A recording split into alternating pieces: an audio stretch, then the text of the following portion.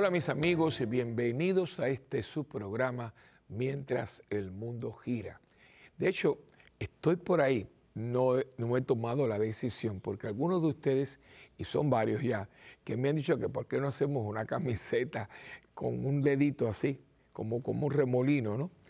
Estoy pensando, claro, quizás eh, en vez de remolino le pongamos una, una una bola del mundo como esta, algo parecido, alguien que sea bien, bien creativo, pero con esto de mientras el mundo gira. Lo estoy pensando, ustedes dirán la, tendrán la última palabra, pero gracias porque ustedes están haciendo el programa suyo y de eso se trata, de que lo que compartimos aquí sea siempre un conversatorio, no que yo estoy dando aquí el sermón de las siete palabras, no, sin quitarle todo el mérito que tiene ese sermón, que es el, sermón de sermones, el de las siete palabras viene santo, pero no, yo no lo estoy sermoneando, yo espero que ustedes no lo tomen así, sino que compartamos, ¿no?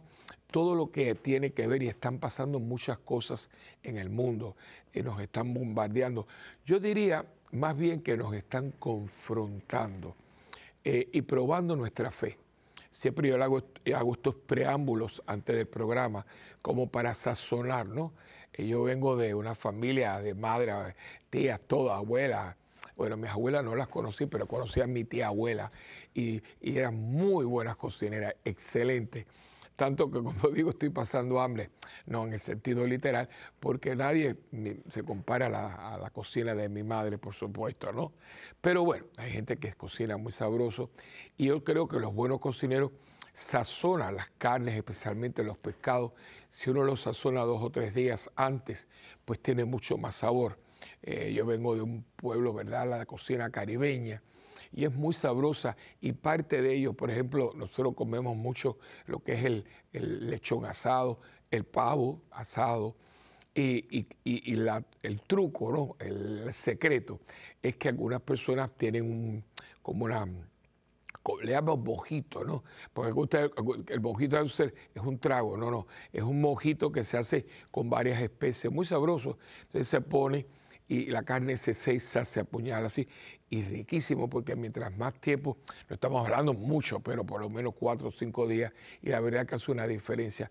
Yo estoy tratando siempre de con menos tiempo, por supuesto, porque no tenemos un anuncio del programa ni nada así, pero sazonar un poquito para que ustedes entiendan. Lo hago también en la parroquia, de que cuando uno, es por eso que, perdone, que cambie un poquito así, ¿no? pero por eso en el cine, usted una semana, dos semanas, a veces tres semanas, te están promoviendo y te ponen cortos, en inglés es previews, de la, de, la, de la película por venir para que usted se vaya entusiasmando.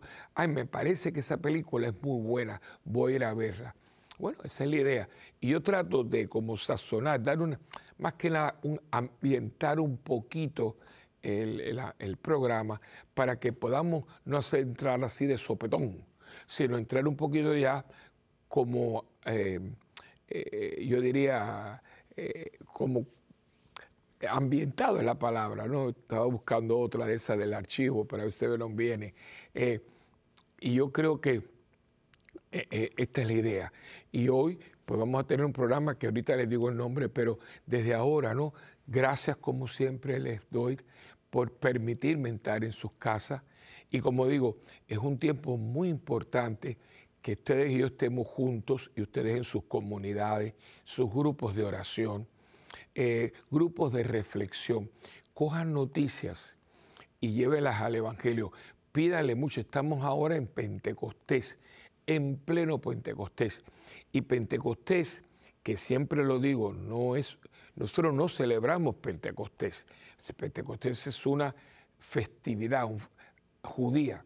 Fue que el día de Pentecostés sucedió lo que ya sabemos, que estando ellos en el aposento alto en oración, con puertas y ventanas cerradas por miedo, vino esta fusión del Espíritu sobre ellos eh, en forma de un viento tormentoso, de una tormenta y de eh, eh, lenguas de fuego. Todo eso tiene una simbología que ahora no lo vamos a estar explicando y de ahí ya salieron. O sea, ya el miedo se acabó y salieron y de ahí en adelante estamos nosotros. De ese día a hoy está la iglesia. Desde el día ese, día que celebraban la fiesta de Pentecostés, hasta hoy estamos viviendo ese, ese suceso, esa, ese evento que a mí me gusta porque a veces la gente dice, no, yo no celebro Pentecostés, yo no soy judío. Eh, esos son mis hermanos mayores, pero yo no soy judío, yo soy cristiano. Y yo no celebro Pentecostés, yo celebro el evento, lo que sucedió el día de Pentecostés, pidiendo que siempre sea el Espíritu Santo el que me guíe y que nosotros podamos como iglesia tener toda esa, esa mentalidad que tenían ellos. ¿Se acuerdan? Cuando uno lee el libro de los Hechos, varias veces dice, el Espíritu Santo y nosotros, no nosotros, el Espíritu Santo y nosotros. Y me tomo unos minutos porque hacemos muchas decisiones con la mejor de las intenciones. Buenísimo, Tado. Mire, hicimos este estudio, tomamos esta resolución. Pero pregunto, le pregunto a usted, me pregunto yo. Lo consulté con él, lo consulté con el que todo lo sabe y todo lo puede, o fue una decisión, no, no, pero era buena y, era para Dios. Sí, yo lo digo, pero lo siento, lo hago, lo oro, lo oro, lo, lo pongo, lo hago oración para que tenga el sello ese indeleble cuando Dios dice, esto es mío, vayan para adelante y no hay nadie que te pare. Y si usted tiene dudas, mire todo esto. Todo esto fue obra de Dios a través de una mujer religiosa, de una mujer que, que hizo de Dios su mentor, su líder, su guía, su amigo inseparable. Esa mujer llamada Mora Madre Angélica, si usted coge el libro, le, le, recomiendo que lea el libro porque está también ya en castellano, ¿no? una mujer llamada Rita, ¿no? Pues era su nombre. Y yo digo, usted va viendo que esta mujer iba a la capilla, oraba mucho, era una, una monja de clausura, pero para hacer esto tienes que tenerlo a él, pero, pero pentecostalmente. Es imposible. Es imposible que una religiosa con varios problemas de salud, situaciones de salud, de clausura, que en la clausura no hay ni un radiecito de batería, ahí no hay nada pueda ser el canal religioso, no católico, religioso, más grande del mundo. E, es que yo vengo aquí, yo lo veo, comparto y, siempre estoy como así, porque cualquier cosita a nosotros nos cuesta, y ahí mira esto y el otro, pero ¿qué tenía? Una certeza. Por eso aquí hay unos milagros, no tengo el tiempo, quizás un día yo mi poquita información, ¿verdad? Pero por él, las, situaciones que hubieron aquí, yo sé algunas, yo sé algunas, pero eh, es increíble. Pero es que yo lo vivo también en la parroquia. Yo lo vivo. Eh, y, es uno tras el otro. Yo soy de la parroquia humilde, nosotros no estamos en los suburbios, en San Juan, y eh, clase media, media para abajo. No, algunas personas están bastante económicamente bullantes, pero no es la regla y los eventos, acabamos de tener un evento y lo digo públicamente, le doy muchísimas gracias a Dios, porque fue un evento de jubileo, porque celebrábamos cinco cosas a la vez. Era los 35 años de la convivencia, yo creo que hablé con de ustedes, los 35 años de mi pastoreo en esa parroquia, parece que no, pero sí. Eh, los 50 años míos de ministerio, que aprovecho también para darle las gracias pero de todo corazón para todos ustedes que se han desbordado eh, eh, cuando yo lo estaba celebrando, el 30 de marzo, y, me mandaron regalos. De verdad les digo, ha hecho mella, ha hecho mella, siento su oración, siento su cercanía, así que gracias. Y entonces, pues, aquí mi padre, vamos a seguir celebrando, son 50 años y lo vamos a celebrar este año. También 65 años de la fundación de la parroquia, sobre todo los 20 años de tener una capilla de adoración perpetua abierta 24 horas, 7 días a la semana para la gloria de Dios y que Dios la proteja porque es suya. Somos custodios de esa capilla. Inclusive yo siempre digo, no es de la parroquia, está en la parroquia, pero es de, es de Puerto Rico y del mundo entero. Eh, y todas estas cosas las juntamos y pusimos... Eh, convivencia de renovación y evangelización, 35 años, jubileo. Estábamos y lo tuvimos y fue, yo creo que para la mayor gloria de Dios. No me gusta, fue un éxito, porque mm, la palabra éxito tiene mucho, mucho sonido de mundo, ¿no? No, no fue un éxito, fue un evento pentecostal para la mayor gloria de Dios. Y una cosa que yo creo que es el termómetro, las confesiones. Yo no lo estuve haciendo, pero hubieron varios confesores y fue algo que nunca había escuchado porque fue bullante la cantidad de personas que lo mínimo, lo mínimo 20 años sin confesarse. De hecho, tengo una persona de la parroquia, fue estudiante mío, inclusive, hoy es abogado, y vino llorando. Y me muestra en el celular un, recado a él, no, era mío, y decía, te digo que hoy, después de 30 años, me volví a confesar. Él estaba llorando porque es su hermano, su hermano. Por eso le digo que, además de la belleza del, del tiempo, porque una semanita antes, menos de una semana, aquello fue lo que se llama una vaguada, que era llueve, llueve, llueve, hasta, y tuvimos tres días súper caribeños, sol, eh, bueno, una cosa, por eso le digo que cuando uno cuenta con Dios, hicimos todo, además Dios cogió el tema, porque habían, esta vez todos los ministerios ofrecieron eh, eh, textos, y yo dije, no, yo este año los cojo lo cogieron ellos, lo pusimos en oración e intercesión y después se cogió. ¿Y saben cuál fue el tema? Santiago capítulo 4, versículo 6, si no me equivoco. Dios aborrece al soberbio y concede su bendición al humilde. Todos nos quedamos, me acuerdo cuando abrí el papelito, tenía uno de mis diáconos frente, todos nos quedamos ya. Porque eran 22 posibles temas y Dios escogió ese. Yo no tuve nada que ver. Yo, ellos lo escribieron, yo lo, lo único que cogí, todos ellos, y lo fui poniendo en el mismo papelito, papelito para, igual para todos. Y digo, este es el que quiero. Y en la preparación tuvimos reuniones, oración, y pudimos ver por qué. Porque todos los recursos vinieron y todos lo dijeron, era un tema muy serio, un tema profundo, un tema retante pero hermano, todos estábamos de acuerdo con que yo me decía, Dios mío, porque los recursos yo los invito de aquí y de allá, ¿no? Ellos no, no, tienen comunicación entre ellos. Y todos, todos parecía que se habían puesto de acuerdo. Y todos dijeron algo que ahora lo comparto con ustedes. Todos, hermanos, todos somos soberbios. No yo, todos somos soberbios. Y el que dice que yo no, es más soberbio que los demás, porque usted lo tenemos.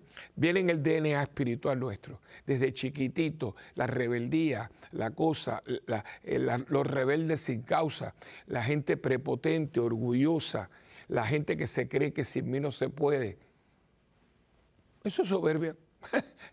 y, y yo, sí, sí, yo, porque acuérdense quién es nuestra madre, de dónde venimos, de Eva.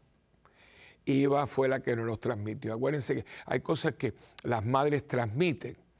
Eh, bueno, pues eh, nuestra madre Eva nos transmitió una, una enfermedad y la tiene toda la humanidad, es la soberbia. Cuando vio que el fruto apetitoso que le había vendido el don, el don que no nos quiere y nos odia con todas las fuerzas de su ser, le dijo, si come de esto, serás como Dios. Y dice la palabra que vio que era apetitoso. ¿Qué cosa era apetitoso? Yo no sé qué dijo que era una manzana. Ahí no menciona ningún fruto. Parece que el que puso manzana es que no le gustaban las manzanas. No, no, no, ahí no hay ningún fruto. Dice que el fruto es el querer ser como Dios. Ahí está la cosa. Desde entonces hasta el día de hoy, yo, yo, yo, yo, eh, toda la teología y la pastoral del yo-yo. ¿Se acuerdan del yo? Pues eso es. Así que yo les invito, ¿verdad? Que, que digo, pues esto ha sido un mes muy lindo y es un mes muy pentecostal. Y por lo tanto, yo me he tomado este tiempecito que no creo que esté de más, porque es parte del programa. El Señor inspira para que nos sazone, nos sazone porque necesitamos humildad. Porque usted podrá escucharme, podrá gustarle o no gustarle lo que yo estoy diciendo, pero se necesita la humildad para decir, yo necesito aprender cada día algo más que lo integre a mi persona, aquí y aquí. Lo tengo que traer. ¿Por qué? Porque usted y yo no sabemos todo. Hace mucho más falta de que vayamos para que entendamos lo que Dios quiere de nosotros, no lo que nosotros queremos hacer, que no necesariamente es malo, pero si no es de Dios, no es bueno. Que eso es una cosa que yo lo trato de vivir y compartirlo. No, pero es que eso no es malo. Papá, no es malo, pero no es de Dios. Dios no lo quiere. Y puede ser algo que tú vas a hacer y que no sea malo. Pero si no lo quiere Dios, no es bueno. Cojan, cojan esa, esa, eh, la reglita para medirlo. Papá Dios, ¿te gusta? ¿Quiere? Sí, yo lo hago. ¿No te gusta? No lo hago. Ay, pero sería una cosa buena. Pero no lo quiere. Él no lo desea porque en su tiempo, en su plan divino, eso no está. Y si Dios no lo quiere, no es bueno. Punto y se acabó. Ahora vamos entonces a la oración al Espíritu Santo, que yo se la debo, porque tenemos toda una canción. Yo espero que podamos este año hacerla, porque no es que no se me olvide, es que hay tantos temas. Pero está aquí, está aquí hasta ahora, y hay una canción muy bonita de esta oración que la hizo mi comadre, Ana Lourdes. Que Dios la bendiga y bendiga su nietecita, que es un amor. Ya la bauticé, así que ya es hijita de Dios. Eh, pues se los debo. Pero mientras tanto, cuando usted la diga, dígala todos los días. Mire, porque es una, oración muy práctica. Vemos al Espíritu Santo actuando en todo lo que tengo y en todo lo que soy. Vamos entonces a comenzar en el nombre del Padre, del Hijo y del Espíritu Santo. Amén. Oh Espíritu Santo, amor del Padre y del Hijo, inspírame siempre lo que debo pensar, lo que debo decir, cómo debo decirlo, lo que debo callar, lo que debo escribir, cómo debo actuar, lo que debo hacer para procurar tu gloria en bien de las almas y de mi propia santificación. Espíritu Santo, ilumina mi entendimiento y fortifica mi voluntad. Dame agudeza para entender, capacidad para retener, método y facultad para aprender sutileza para interpretar, gracia y eficacia para hablar. Dame acierto para empezar, dirección al progresar y perfección en el acabar. Amén. María, Madre del Buen Consejo, ruega por nosotros que así sea. En el nombre del Padre, del Hijo y del Espíritu Santo. Amén. Bien, pues hoy el programa que quiero compartir con ustedes tiene, sabe que yo le busco unos títulos así para que usted se acuerde, ¿no? Todos nacemos de una mujer. Claro, estamos en el mes de mayo, el mes de las flores, el mes de María y el mes de las madres. Lo celebramos, algunos países lo celebraron el segundo eh, domingo de mes, otros creo que mis hermanos dominicanos y otros países también creo que es el tercero, pero no es ese mismo. Y es muy importante, ¿por qué? porque ese día el mundo se desbora. Yo me acuerdo que ese día no se podía, aquello, el tráfico era, siempre hay mucho tráfico en Puerto Rico, ¿no? Porque hay muchos coches, pero aquello era increíble porque todo el mundo estaba buscando un regalo más o menos de acuerdo al bolsillo, pero había que comprarle algo a mamá. Después el domingo los restaurantes repletos y todo, y aquello era un desborde porque hay que hacer algo por mamá. Y claro, ¿por qué? Porque todos nacemos de una mujer, todos. Ahora bien, dada la situación en que nos encontramos en este mundo que gira, hay que preguntarse qué quiere decir la palabra, porque todos nacemos de una mujer. El, el hecho que yo nací de una mujer. Aquí entra entonces todo lo que es una mujer. Que aprovecho y aquí doy una noticia eh, ya, ya está formal, ¿no? El otro día, la anunciamos, por cierto, en la convivencia, yo eh, ojalá que, aquí viniera, que pudiera eh, el, WTN, porque va a ser algo histórico. No estoy por eso, porque estaba yo en mis cosas y, y me vino a la mente porque tenemos un ministerio bastante reciente, no de ayer, pero bastante reciente, lo coordina una, una, señora, una mujer joven, muy, muy brillante, actriz, ella trabaja en el mundo de la banca. Fíjense, pero su joven y muy buena actriz, muy simpática, muy eh, burbujeante. Siempre tiene dos niños, su, una, su, hija es cantante lírica, que ha ido a Viena y todo, muchacha mm, eh, mm, brillante, ¿no? Eh, tiene otro hijo que, por cierto, es muy bien, un muchacho ya universitario. muy bonito, es una familia bonita que Dios la bendiga, ¿verdad? Y la guarde. Y ella está coordinando con dos personas más un ministerio se llama Amigas de María de Nazaret. Es, muy bonito, un grupo grande, un grupo grande. Entonces, eh, yo estaba el otro día caminando, esta, pues ella tiene un programa eh, que usted lo puede ver en Santa Bernardita TV, eh, en la internet. Sale todos los, creo que los martes. Puede buscarlo, busque Santa Bernardita TV y ahí lo va a ver. Y es un programa que tiene Soy Mujer. Es, todo es semanal, muy bueno, muy bueno. Traen muchas invitados, eh, mujeres y hombres, ¿no? Y es fantástico. Y tiene una, una audiencia muy grande, muy grande porque es un programa radio, televisión. Sabe que ahora hay programas de radio que también usted está viendo a la persona. Por lo tanto, por eso en la parroquia tenemos un pequeñito, bueno, no tan pequeñito estudio de grabación. De ahí sale el programa. Ahí grabo yo también, pero hay tres programas ya estables. Eh, y yo se, los haré también saber. Ellos tienen días, uno es, o las mujeres, soy mujer, eh, los hombres tienen también, también es semanal. Sé que es a las 9, pero los días los tengo un poquito cruzaditos, así que a ver si eh, Marisela, nuestra productora, me los consigue, porque son tantas cosas que uno no...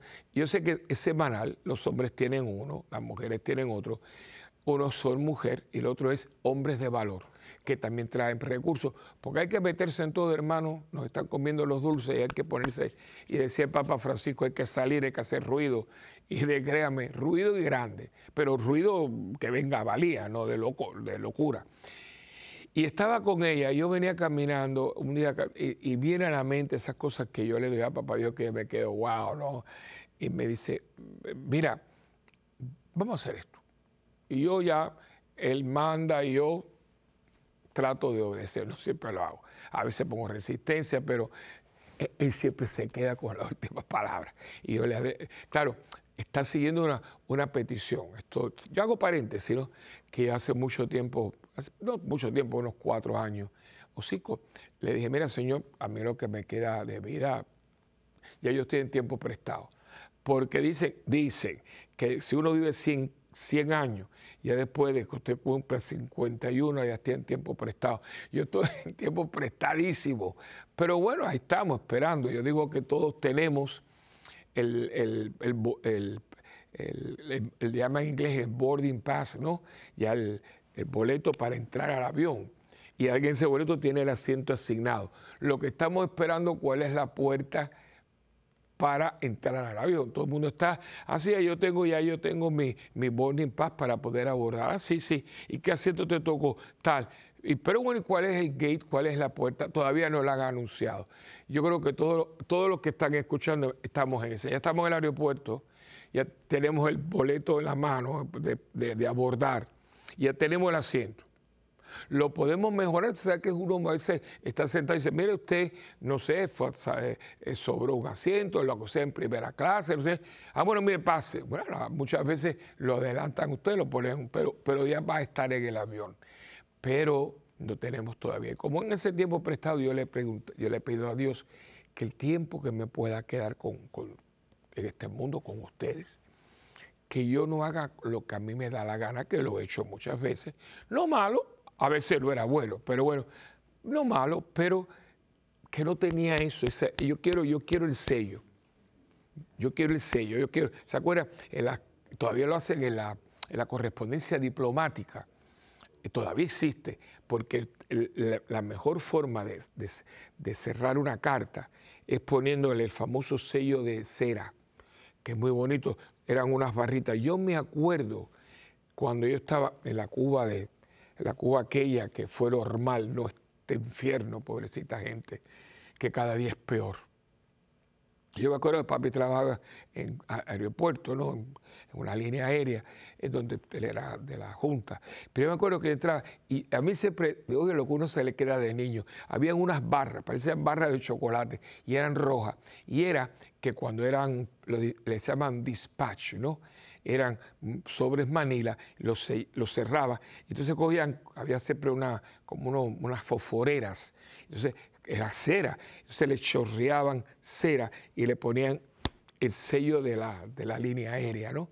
Se llamaba Cuba Aeropostal. Todo eso se acabó. Vino, vino la, la, revuelta, porque de viene la palabra revolución, la revuelta, y todo lo revolucionó hasta el día de hoy, que ahí en Cuba no queda literalmente piedra sobre piedra. Es algo lo de Cuba, pero no voy a entrar en eso, es espantoso. Pero bueno, no voy a ir por ahí. Entonces, yo quiero eso, que cada vez que el sello, porque ahí ¿saben qué? Que para abrir eso hay que romperlo. Por eso es que todavía hoy valija diplomática y cosas importantes, yo lo he visto en el Vaticano, vienen sellados con cera. Pues yo quiero que las decisiones mías y con Dios estén selladas con cera pero no una cera material, sino la cera de la voluntad de Dios. Esto es mío y está sellado. Y por eso todo lo, comparto. Y estaba yo caminando por la pared y me viene a la mente de ahora, si Dios me da la vida, en septiembre, hacer un encuentro de mujeres. Eh, lo compartí con ella y está, ¡ah! Digo, sí, ella está encantada y lo anunciamos, ya tenemos el título, el título del encuentro va a ser Te formé para mí. Y creo que eh, como hijo de una mujer extraordinaria, como hijo de una mujer extraordinaria que es María, la, mi, mi mami, mi mamá Elena, mi madre con mayúscula María de Nazaret, las dos porque Dios me dio una madre extraordinaria, pero todavía no contento con eso, porque Dios siempre quiere darnos más y más. Me dio una madre que está viva, como, bueno, a mí está con ella, porque ahora mi madre está con ella, pero mi madre, madre, y también la tuya, siempre está con nosotros porque nos las dieron al pie de la cruz. Ella y a tu madre. En Juan, todos somos Juanes, y en el pie de la cruz nos las dio. Y yo creo que lo que vamos a estar en ese encuentro, están invitadas todas, ¿no? Eh, si Dios quiere, creo que es el 15 y 16, 15 o 16 y 17 de septiembre, un sábado y domingo. Son dos días porque hay, mucha, hay mucho que compartir. Y lo tuve porque me ocupa el verlas ustedes que son una creación tan divina, tan de Dios, y ver cosas que a veces yo digo, ¿qué pasó aquí? Y quiero muy humildemente ofrecerles, y lo que yo estuve haciendo con, con Dagmar ¿no? y con el equipo, es ayudarle a, organizarlo. Yo no voy a estar en él, claro, en la parroquia estaré allí, saludaré, pero es un encuentro, fíjense que no es retiro, no es congreso, eh, no es jornada, es un encuentro de mujeres. Y vamos a traer recursos, hasta ahora vieron a una persona, no voy a decir nada porque todavía estamos formándolo, pero vienen de, México, vienen de, creo que de Orlando, y varias que vengan. Y si tengo que traerlas de la Conchinchina, porque quiero que sea para ustedes, para que ustedes vuelvan a tomar conciencia de que mujer viene de mujer. Ustedes vienen de una mujer que dijo que sí, no dijo que no. Y ahí va a comenzar la cosa, ¿no?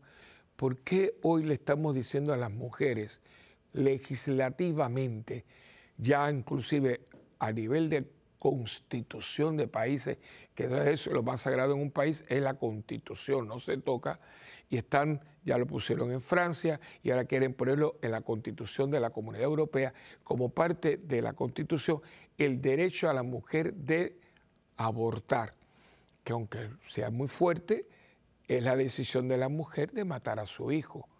Hay gente que no le, a mí por lo menos, que no, yo, hay, hay personas que de verdad han tronchado un poco la amistad conmigo porque yo digo esto, pero es que yo no puedo decir lo contrario, porque hay diez mandamientos y uno de esos mandamientos es no matar.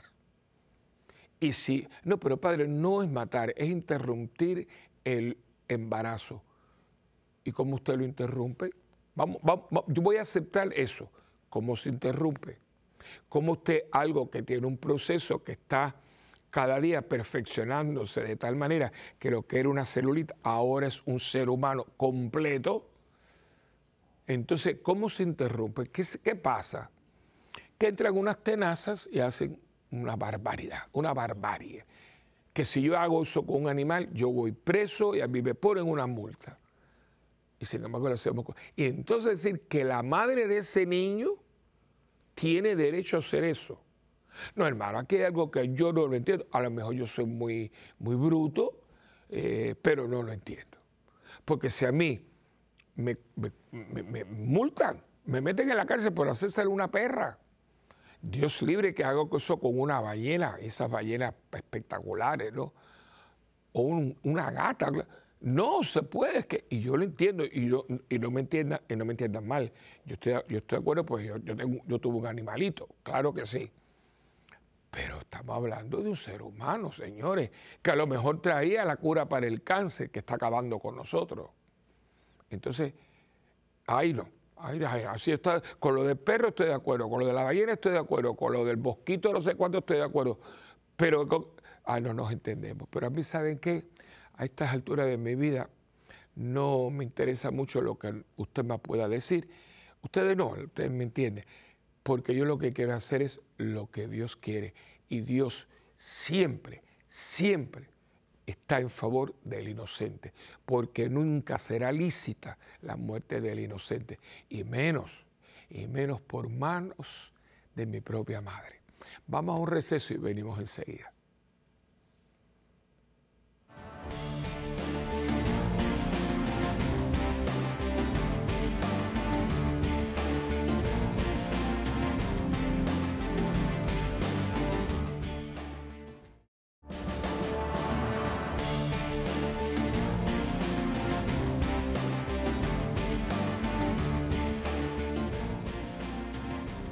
Aquí de nuevo con ustedes y siempre siguiendo la tradición.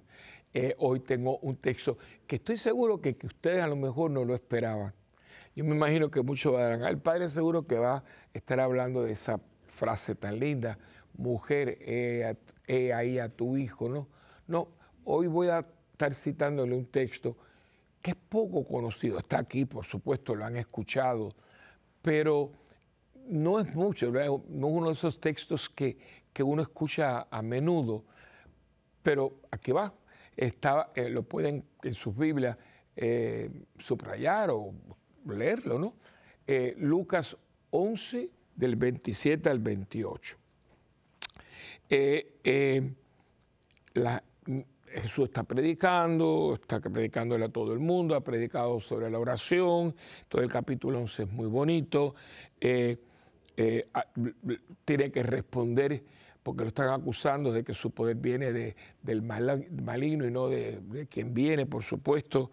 Eh, eh, y, antes de esto, ya, ya en el capítulo 11, pero en el versículo 24, nada más que se lo voy a mencionar, tiene algo muy importante que hoy no vamos a hablar de eso, sobre el espíritu impuro que regresa es un texto bien porque eh, voy a leérselo. Perdonen que eh, no esté en esto, pero se lo voy a, leer y ustedes después lo escuchan, lo pueden mm, escuchar o compartir o lo que ustedes hagan, ¿no? Pero fíjense, cuando un espíritu impuro sale de un hombre, anda por lugares secos, buscando descanso, pero al no encontrarlo, piensa, volveré a mi casa de donde salí. Cuando regresa encuentra a ese hombre como una casa barrida y arreglada.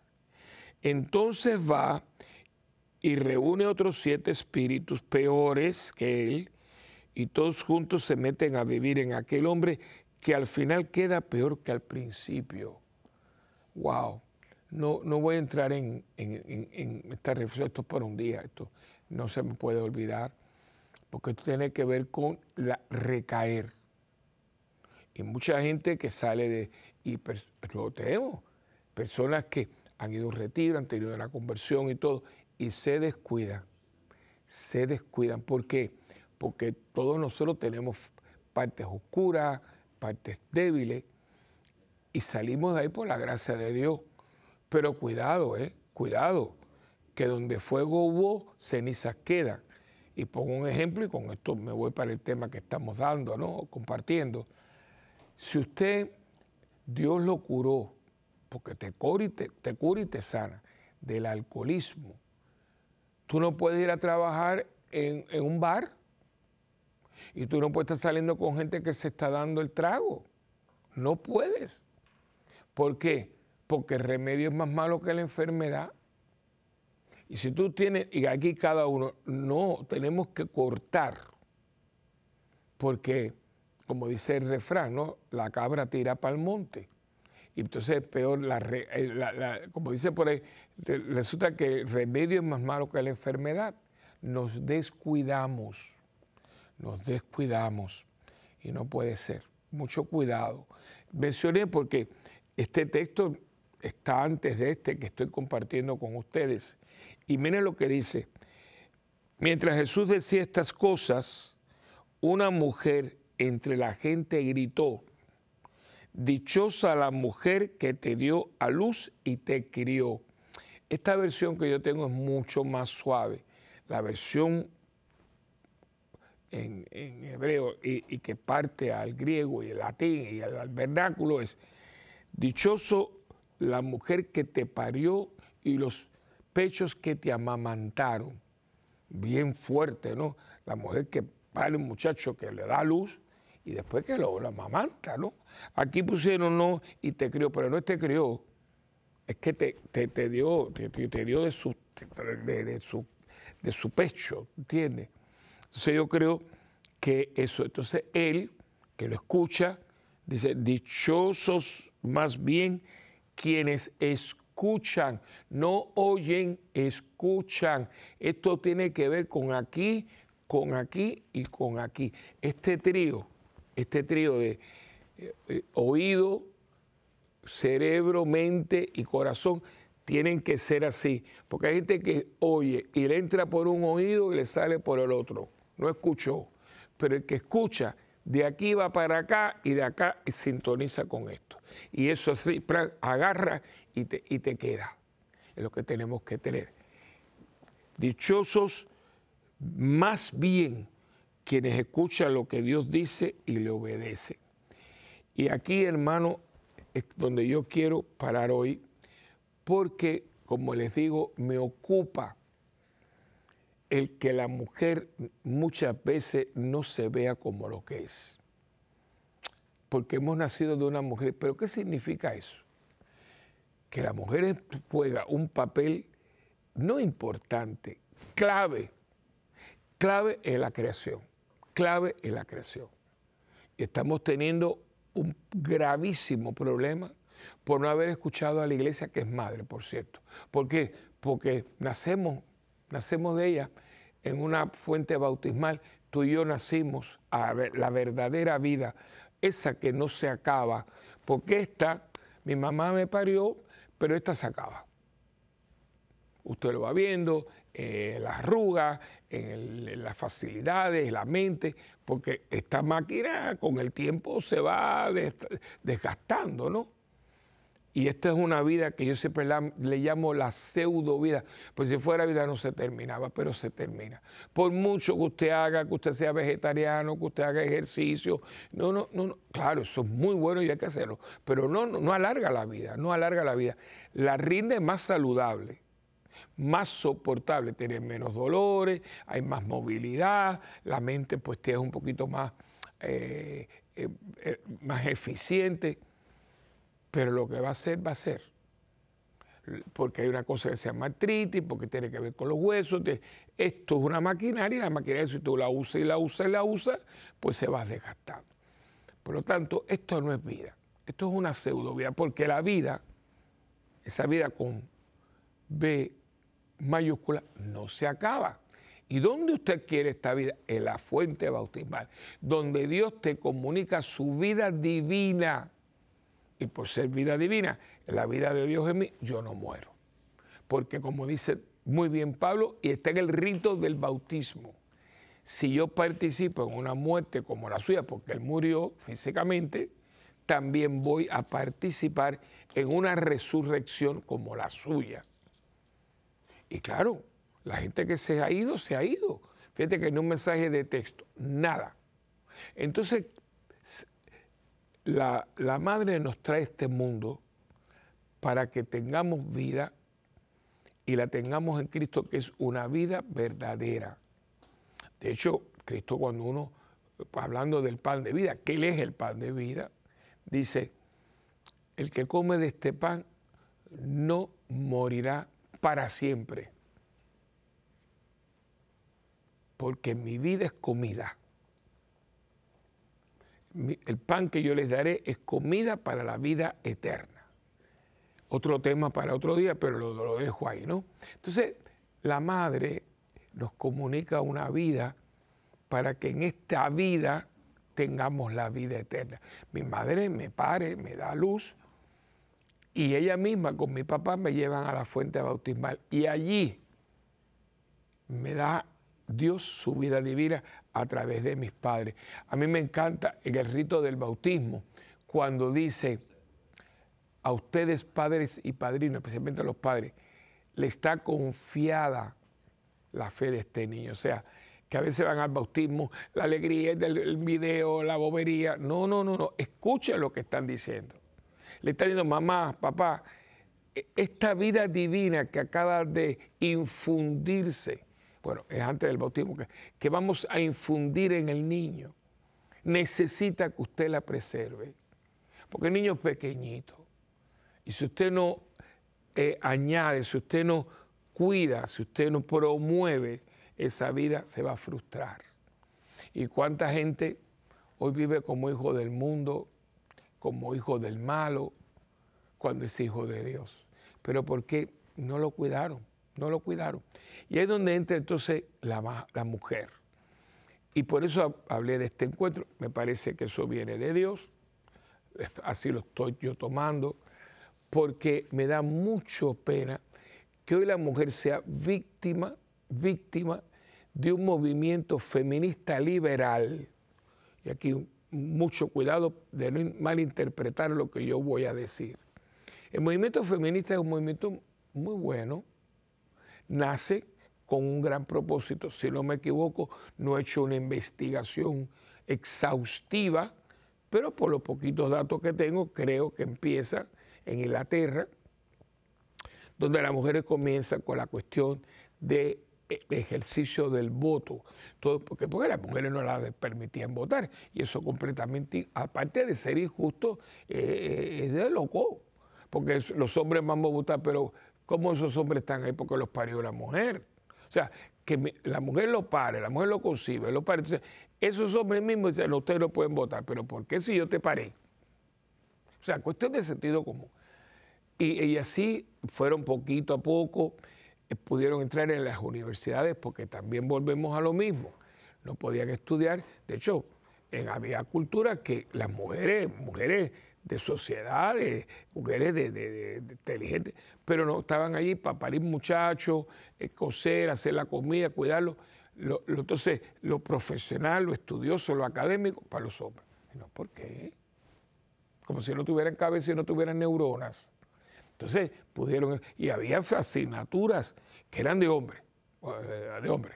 A mí todavía me impresiona mucho y estoy viendo mucho, no voy a decir la, línea aérea porque mm, esto no se trata de hacer comerciales, pero he visto una línea aérea que yo frecuento que varias veces ya estoy viendo mujeres capitanes del, del avión, del piloto y tú las ves con su gorro, tienen el mismo uniforme, pero hecho a la medida para una mujer, ¿no? Y estos aviones, que ustedes saben que son una, una, maravilla, ¿no? Pilotos, astronautas, ingenieros, arquitectos, tremendos médicos científicos. Y es que eso, eso es cuestión de, loco, de lógica. Y eso ha sido un movimiento para que la mujer pueda acceder en muchos lugares secretarias de Estado, presidentes, embajadores. Claro que sí, la capacidad la tienen y en muchos lugares yo en un momento dado, le agradezco mucho a la Universidad del Sagrado Corazón en Puerto Rico, que hace unos años me, dieron un doctorado honoris causa. sin merecerlo, pero le agradezco muchísimo al presidente y a, la Junta, ¿no? que, fue algo que yo no esperaba. Pero bueno, estaba en la graduación porque al final éramos dos, un cantante muy famoso y yo. Eh, entonces, claro, era final, etcétera, muy bonito todo. Entonces estuve, y yo estaba fascinado porque era una graduación de una universidad, pero yo fui contando, sé cómo soy yo ya. Y por 10 mujeres o más, un hombre. Y había cosas que me, impactó nada, porque, por ejemplo, no sé, me acuerdo una que contabilidad, eh, el certificado, suma acumulado, es decir, con notas excelentes, y venía con su bebé una muchacha que tuvo un bebé, casada, tuvo bebé, pero se puso. Digo, qué maravilla, porque te dice, no, no puedo estudiar, no, que no solamente estudió y se gradúa de la, universidad, se gradúa con los máximos honores. La mujer tiene una capacidad increíble. Pero, pero aquí venimos. Cuando se usa para destruir, cuando se usa para envalentonarse, eh, no, por ahí va, la cosa lo va, por ahí va la cosa. Estuve dando una misión que fuera muy linda y me dolió mucho porque en ese país que fui eh, eh, había sido la Semana de la Mujer. Y es un estado muy lindo de este país latinoamericano, espectacular. Y cuando me llevaron al centro, me dijeron, mire padre, perdone que no, todos habían puesto eh, tablas de, madera en, en, los, grandes edificios, todos pintorreteados, inclusive las puertas de la universidad, donde estudian muchos de los hijos de esa mujer, desbaratado, apedrada. Digo, ¿y quién hizo esto? Bueno, las mujeres que estaban de manifestación pero ¿cómo es posible que la Semana de la Mujer se pintorreteen, se afeen, se destruya propiedad? ¿Qué es eso? ¿De dónde viene eso? ¿Quién está detrás de eso? O mujeres que, que van desnudas por la calle. No la moda, la moda. ¿Quién inventó esa moda? Donde usted sale a la calle como un pedazo de carne. Usted no es un pedazo de carne. Usted es una obra maestra, maestra de Dios. Miren que todo el mundo, ¿cuánto vale la Mona Lisa? ¿Cuánto vale la Pietà? ¿Cuánto vale la Venus? Que está en el Museo del Louvre. Millones, millones. ¿Y cuánto vale una mujer? No tiene precio. ¿Por qué? Porque es una obra de arte de Dios. Y las obras de arte no se tocan, y menos cuando son de Dios. ¿Y usted cómo sale a la calle? ¿Cuál es el vocabulario? Porque usted decía que nosotros, los, hombres son tan vulgares, son tan así, tan... Pero resulta que se le ha pegado lo no. O sea, querer ser como nosotros, ¿en qué? Yo creía que era en la oportunidad de trabajo, en la oportunidad de academia, en la oportunidad política, pero en cuestión de estar con una lata de cerveza en la mano, media desnuda, con 20 palabrotas, eso es lo que ustedes copiaron de nosotros, eso es lo que querían. Ay, qué poco, qué poco, pero qué bajo. Tenían que habernos dejado en evidencia que miren cómo se puede ser un profesional, miren cómo se es una persona, una persona que está creada a imagen y semejanza de Dios. Claro, si no creen en Dios, imagínense ustedes, pero ¿quién te quitó la fe en Dios? Porque detrás de todo esto hay gente, no se crea que, hay qué casualidad, aquí no hay ninguna casualidad, señores. Detrás de todo esto hay gente que quieren denigrar a la mujer para después entonces controlarla. Porque te controlan como te viste, que te, porque de dónde usted aprendió a vestirse así, usted, así no se aprendió usted a vestir en su casa. Así usted no aprendió, usted no aprendió esos modales. Usted no aprendió esa manera de ser. Porque quien te parió, no te parió así. ¿Y cuántas madres dicen, ay hija, pero qué tú has hecho? Porque usted tiene que, porque conoce un hombre, acostarse con él. ¿Pero por qué? No, porque somos igual. Ay, hermanita, te metieron otra mentira, otra mentira. Pues estamos aquí en un programa serio, pero ustedes saben cómo son las cosas, porque mientras el mundo gira hay que hablar como las cosas son. Eso es una mentira, porque no que somos iguales, no somos iguales. Porque si yo, y perdone, tengo una relación sexual con una mujer, ¿qué consecuencias yo tengo? Bueno, si la mujer está enferma, ella podría tener una enfermedad eh, de, de transmisión sexual. Pero dejando eso, ¿Qué efecto? Un, placer. Pero la mujer, si queda, vamos a usar la palabra fuerte, prellada, oh, yo estoy tranquilo, voy para aquí, voy para allá, y tú empiezas a dilatarte el vientre, tener una... Empieza tu, y tu vida va a cambiar, inclusive físicamente. Y tienes entonces dos opciones, o tener el niño o matarlo ay, pues que yo no lo quiero. Bueno, pero no quieres esto, pero que existe el otro. Y usted dirá, el padre está bien muy machista. No, yo no estoy machista, al contrario. Yo tengo un, un concepto, porque yo nací de una mujer, yo no nací de una lechona. Y soy quien soy por mi madre, porque mi papá, bendito sea Dios, no pudo porque yo creo que de las cosas... la única vez que yo vi mm, llorar a mi padre fue cuando me puso en un avión. Pero me estaba dando su vida para que yo tuviera hoy y pudiera estar aquí, porque si yo hubiera estado en Cuba, o me hubieran matado, que es lo más probable, o fuera comunista, que yo no creo que yo vi por ahí. Y después lo pude ver de vez en cuando, pero no pude tener. ¿Y quién? Mi madre, mi madre me enseñó. Y yo no, mi mamá no era, mi mamá no era de iglesia, mi mamá viene a entrar en la iglesia ya en sus años cuarenta y pico, cuando la renovación en el espíritu la toca y ahí siguió y siguió. Y yo puedo decir que mi madre muere en santidad.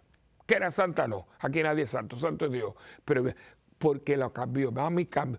Pero mi madre era una mujer de lucha, todo lo que hizo, todo lo que nos deja a mi hermana Lina y a mí con una tijera y un peine, una gran estilista.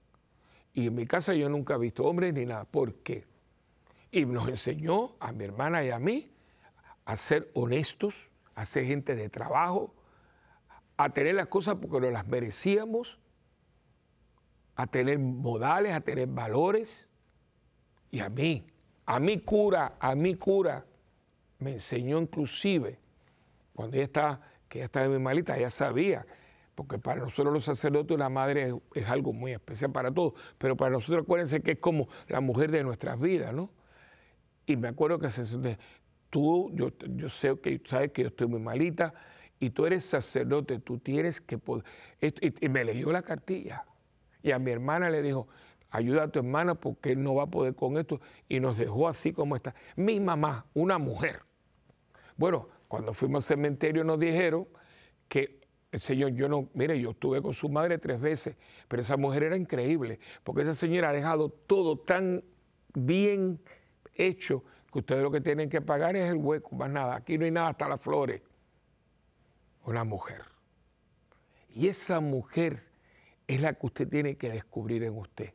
Día a día, la mujer que hace presente a Dios, porque si Dios nos creó, nosotros nacemos y vamos desarrollando. Es una creación dentro de usted. ah, pero yo nunca he tenido hijos. No importa, usted tiene la capacidad. Y aunque no la, no la ejerza, pero usted es una mujer. Y tú, mujer, naciste de una mujer. Hazle honra a las mujeres. Habla con una mujer. Nadie habla de la verdad como una mujer. Nadie hace presente el amor de Dios como una mujer. Nadie, nadie tiene la, el, poder de persuasión como una mujer. Y me he tomado este tiempo porque eh, hay que honrarlas. Porque este es su mes, el mes de las flores, el mes de María, el mes de las madres. Y toda mujer potencialmente es madre. Aquí usted tiene un sagrario, el primer sagrario del mundo es el vientre de una mujer y también el tuyo. Bueno, hemos llegado al final. Era un tema para muchos, pero bueno, de vez en cuando lo voy a ir mencionando por ahí. Y pueden, acuérdense que pueden comunicarse con nosotros a mundogira.ewtn. También pueden eh, visitar nuestra página web parroquiasantabernarita.org. También Estamos en YouTube, Santa Benarita TV, que ahí donde tiene todo. Usted puede ver la convivencia, la puede ver ahí porque se transmitió y está en, eh, archivo. Y también si no tiene alguna pregunta sobre el encuentro de mujeres o algo así, puede llamar a la parroquia Santa Bernardita 787-762-0375. Y también estamos en Facebook, facebook.com, raya, Padre William. Y todo eso está para ustedes. Así que acuérdense que ustedes y yo tenemos un, pacto inviolable. Yo rezo por ustedes, ustedes rezan por mí. ¿Y cómo? Y juntos por el mundo. Que Dios me los bendiga en nombre del Padre, y el Hijo y del Espíritu Santo. Amén.